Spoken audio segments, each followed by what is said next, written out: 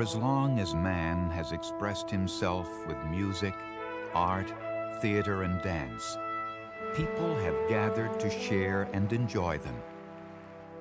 Throughout the ages, each generation has produced artists, musicians, and dancers who not only entertain and enrich the lives of a particular generation, they also add to the rich legacy of the arts that endures forever.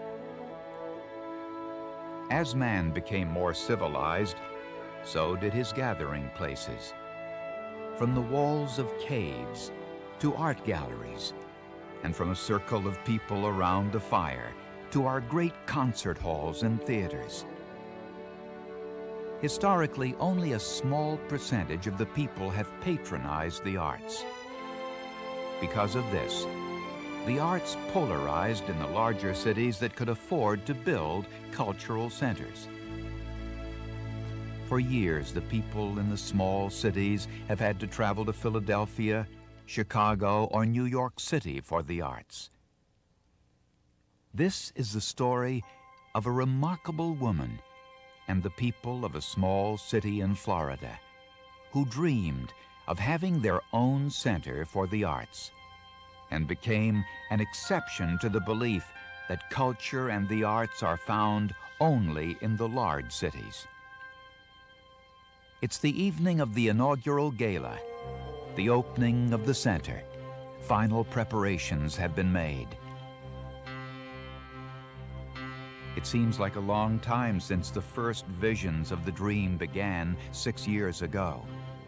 Six years of dedication, perseverance, and combined human effort have brought them to this moment. There is a sense of anticipation in the air.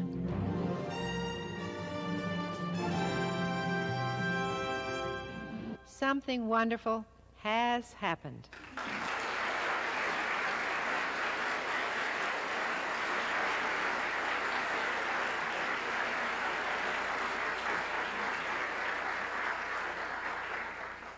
We are going to be entertained for the rest of our lives.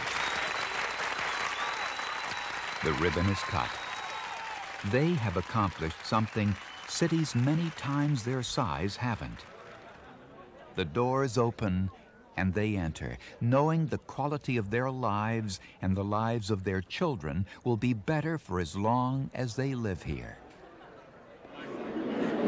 Good evening and welcome to the Philharmonic Center for the Arts.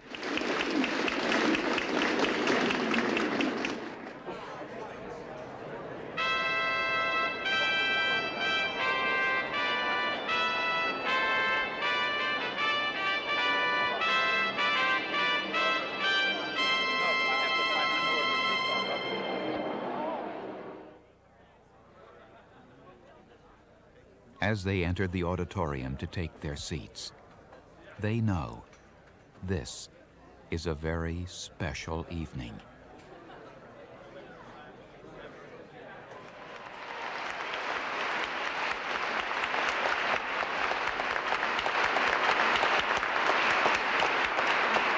Thank you very much. You know, it's really you who deserve the applause because you believed. You believed enough to let me lead this into temptation. There's no doubt about it. My friends have said it. My very good friend Mary Ellen said it at ribbon cutting. Something special has happened. And it's not because of just a person. It's the right idea at the right time in the right place. And 7,400 people helped make it possible. Yes, something very special has happened.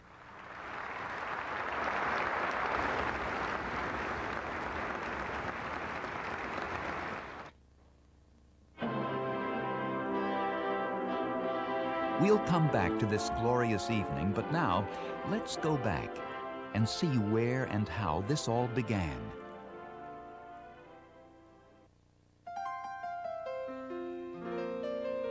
This is Naples, Florida. Naples and its neighbor Marco Island lie on the Gulf of Mexico in southwest Florida.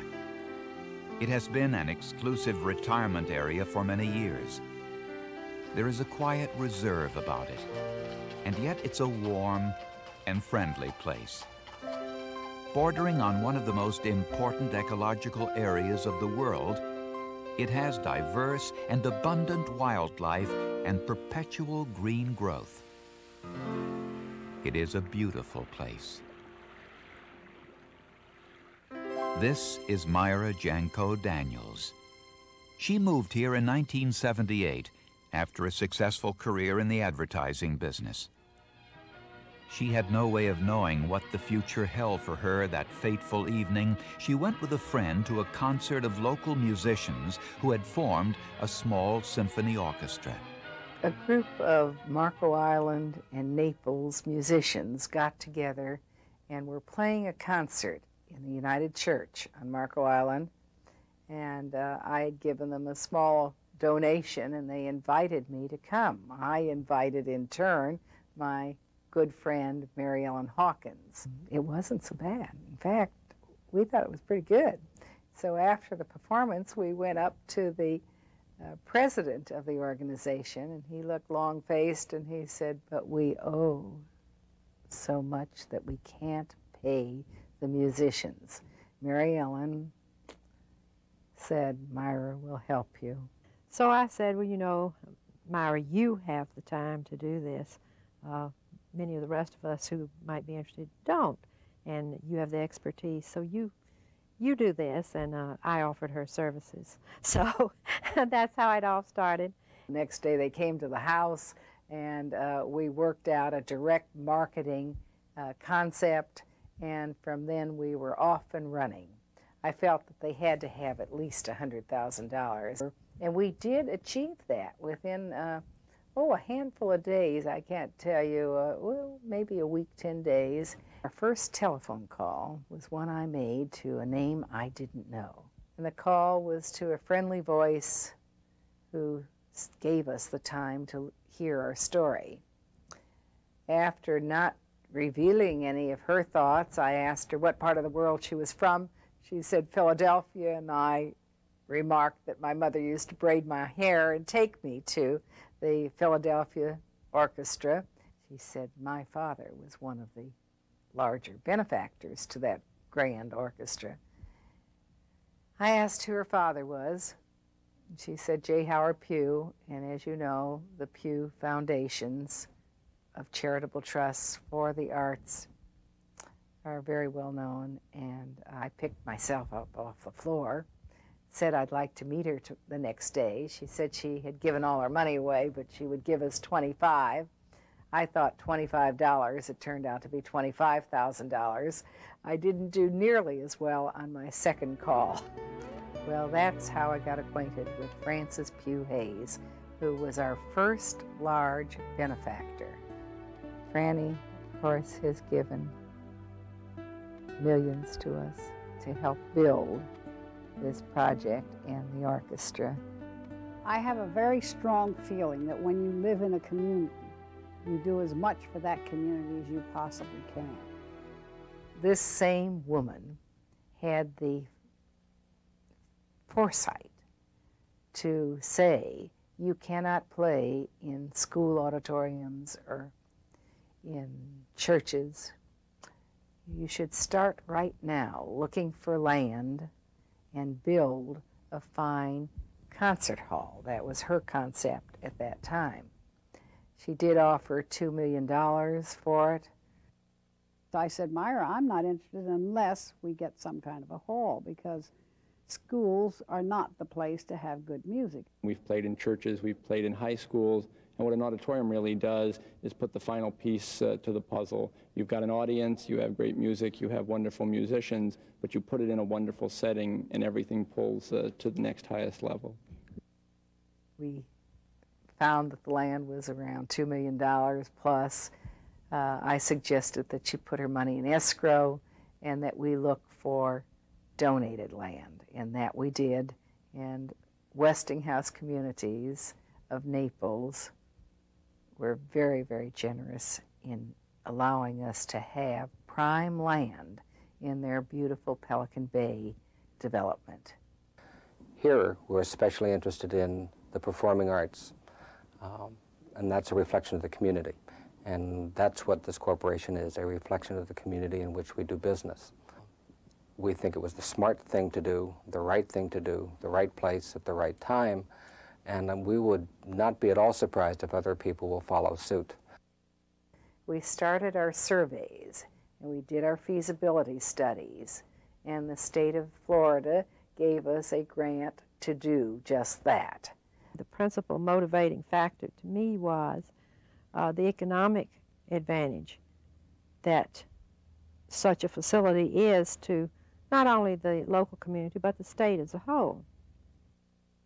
We came together and we started surveying what we thought were some of the better centers uh, throughout the country.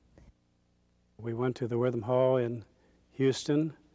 We went to Davies Hall in San Francisco and others that Myra and some of the other members of her building committee visited uh, gave us a great deal of input. As the research continued, the concept evolved.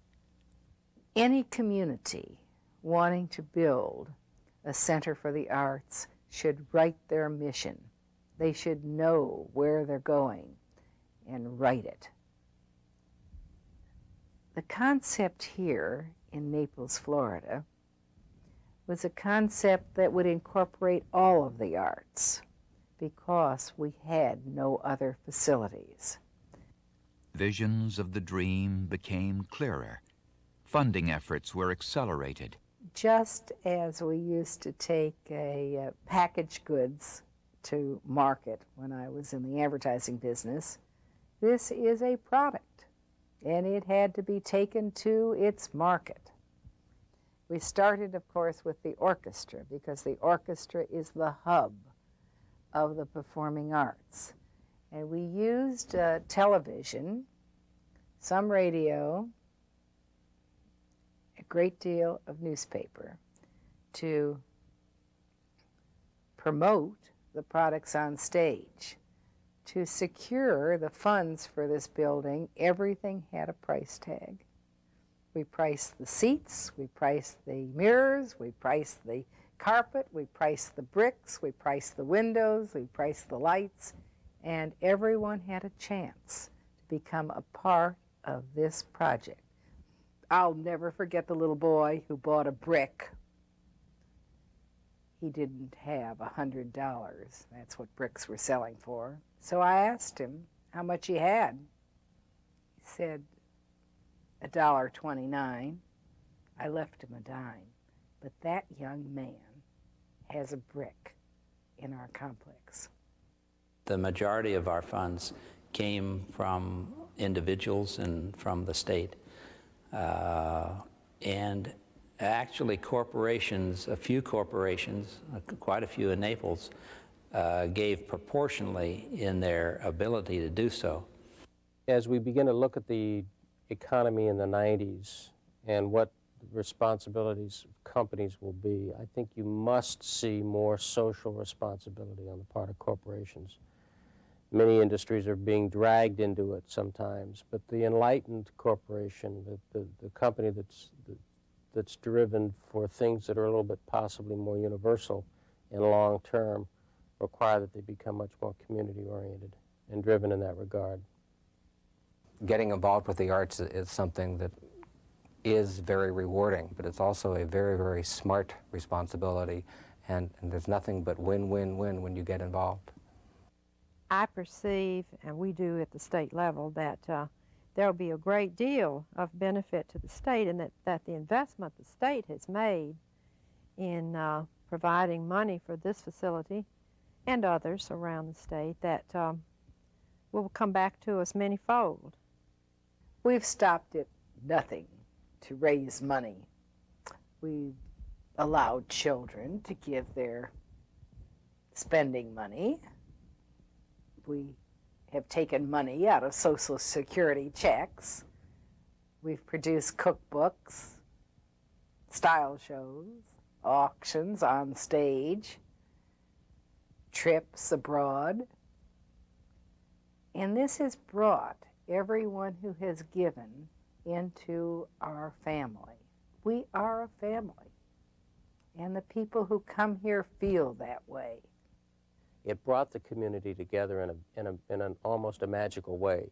Private citizens, civic organizations, business organizations, the governmental uh, organizations all came together and, and worked very hard to make that happen. And I think you had to be there the opening night to realize how that magic had taken place. And I think that there's a thing about the Philharmonic that probably has done more to create a sense of community in this town than anything else in the past. We're terribly grateful to this community for all it has done, and I'm particularly pleased to be standing here in front of the donors wall where our major contributors are named. When people understand that you are a 501c3, not for profit, and that you are giving earnest effort toward this project, then you will find amazing things happen doors open that you've never dreamt of. People come to you because they believe too in a better way for, of life. As funding continued, the team was assembled to design and build the Dream Center. Eugene Aubry was chosen as the architect to design the center. Robert Forsyth would work closely with him. Robert Tanner would be the acoustician. Engineers, Contractors and theater consultants were assembled. The team came together and construction began. Work continued on the building for almost two years. The dedication, time, money, and effort would soon be rewarded. Then finally, it was complete.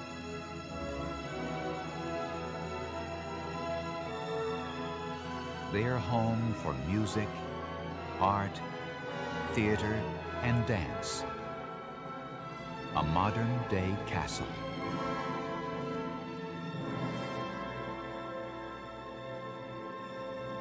A place of dreams.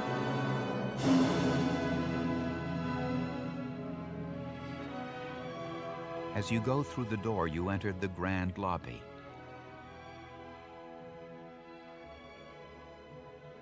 And from there, the glistening Verde marble floors will take you through a total experience. You can go to all four art galleries.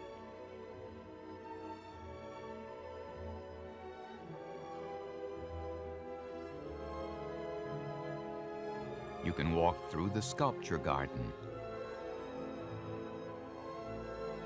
You can go to the Black Box Theater. Or you can take a music lesson.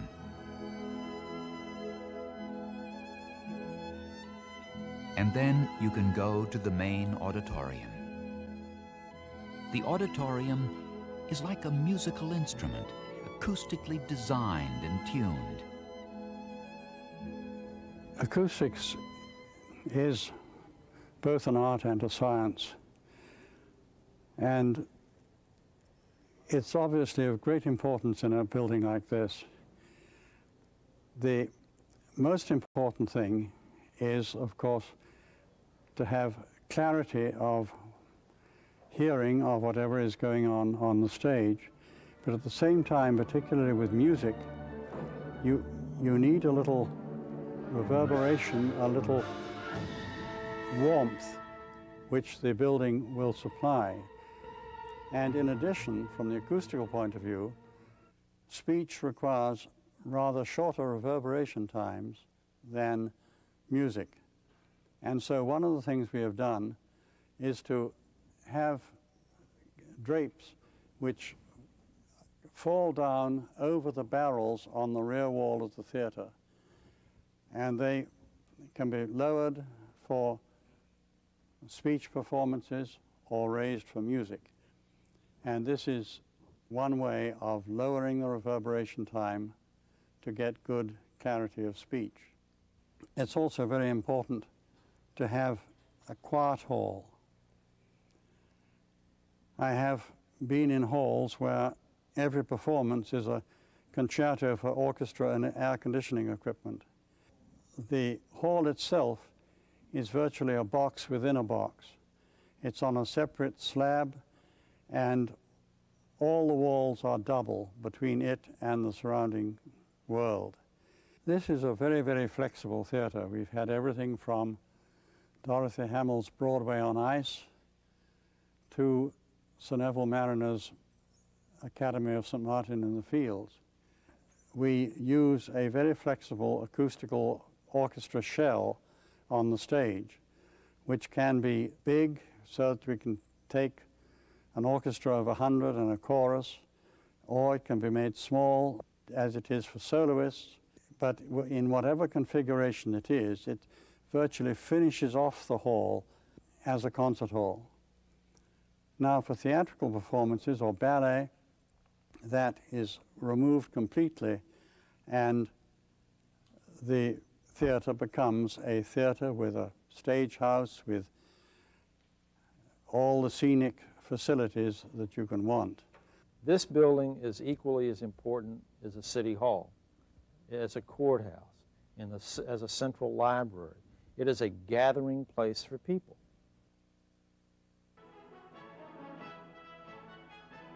As we return now to the inaugural gala, the very first gathering, the performance is ending.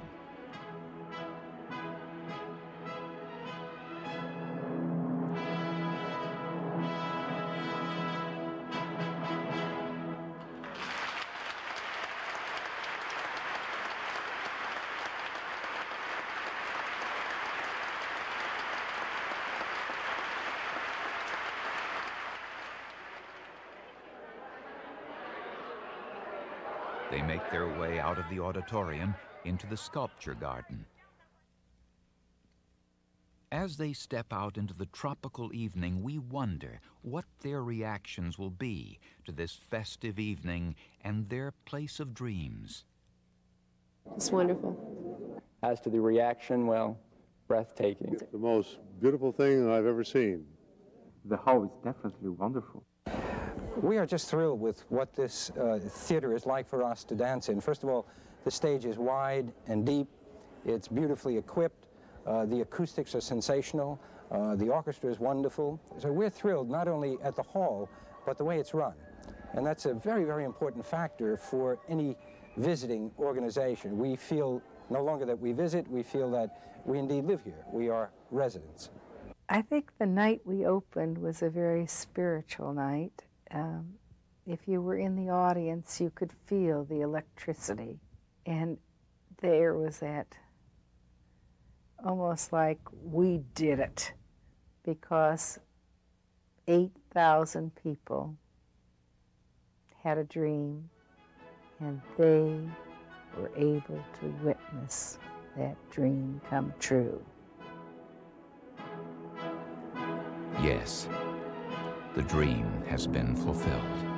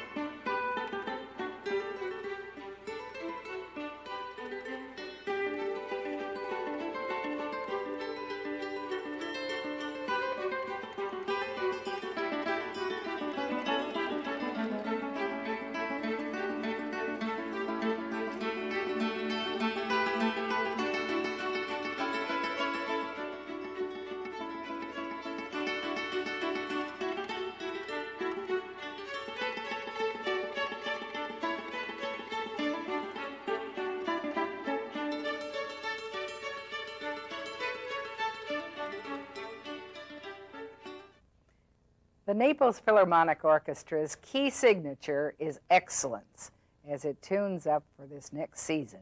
Artistry, ensemble, repertoire all stand at their highest levels. You are the key to sustaining the future of a resident professional orchestra at the Philharmonic Center for the Arts. Your appreciation of music may be expressed in an endowment to maintain the musical talent of this inspiring orchestra. A tax-deductible endowment will ensure our future, enable the orchestra to do more for children and for those of limited means, and provide the finest in programming for everyone. Learn more about the art of charitable giving and receiving. It will change your future and ours. Phone 597 1111.